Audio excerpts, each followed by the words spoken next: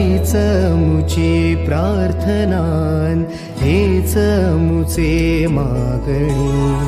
माणसाने माणसाशी माणसा समवागणे